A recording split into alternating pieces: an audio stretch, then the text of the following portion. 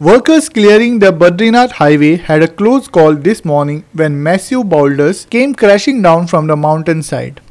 Video footage captured the terrifying moment as the rocks cascaded towards them, forcing a swift evacuation down the hill. The Badrinath National Highway remains shut for over 48 hours following two landslides in Chamoli, stranding thousands of travelers. A landslide at Patalganga resulted in pileup of rubble near a tunnel entrance, causing damage and subsequent closure. Efforts to reopen the highway have been ongoing with the section at Patalganga cleared and reopened earlier today.